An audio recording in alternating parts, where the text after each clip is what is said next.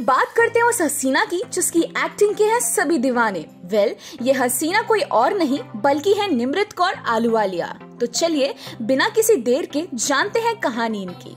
निमृत आज एक मशहूर मॉडल होने के साथ साथ पॉपुलर एक्ट्रेस भी है। लेकिन कैसी रही उनकी अब तक की जर्नी आइए जानते हैं।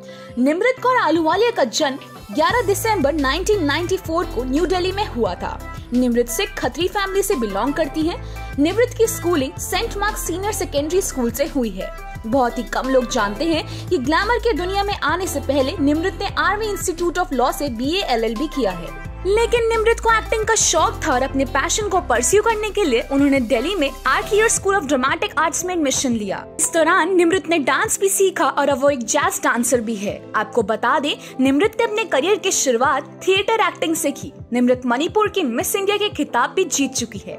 निमृत ने अपने मॉडलिंग करियर की शुरुआत 2018 में की, जिसके बाद उन्होंने कई म्यूज़िक वीडियोस में काम करने का मौका मिला। वहीं निमृत ने द टियारा क्यून का खिताब भी जीता है। इसी के साथ 2018 में निमृत एफ़ कैंपस प्रिंसेस 2018 का पटियाला ऑडिशन में टॉप फाइनलिस्ट के रूप में भी उभरी थी।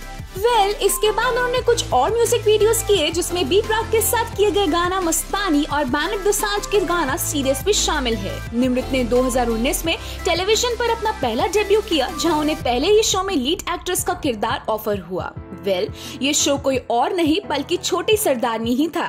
निमृत के किरदार मेहर को दर्शकों ने खूब प्यार दिया। आपको बता दें, निमृत को सोशल वर्क करना पसंद है, वहीं फ्री टाइम में उन्हें ट्रैवलिंग करना अच्छा लगता है। निमृत को पेट्स का भी बहुत शौक है।